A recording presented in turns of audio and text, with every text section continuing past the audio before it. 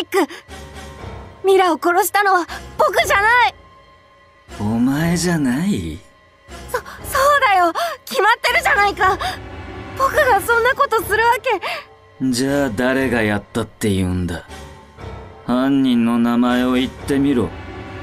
そ、それは。20秒だ。20秒だけ待ってやる。いいか？正直に答えろ。俺は嘘つきが嫌いだからな。さあ教えてくれ。ミラをやったのは誰だ？19、18、